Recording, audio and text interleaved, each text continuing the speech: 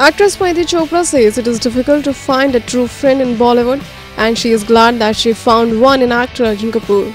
The actress opened up about her equation with Arjun in an episode of Voot's Feet Up with the Star Season 2. Read a statement We have a love hate relationship. It is difficult to find a true friend in Bollywood, and he is definitely one. Parineeti said when asked about her relationship with Arjun.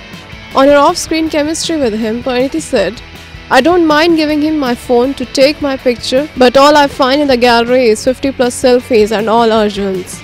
After working with Arjun in Ishaqzaade and Namaste England, Parineeti shares a close bond with him. They will also be seen together in Sandeep Aur Pinky Faraar.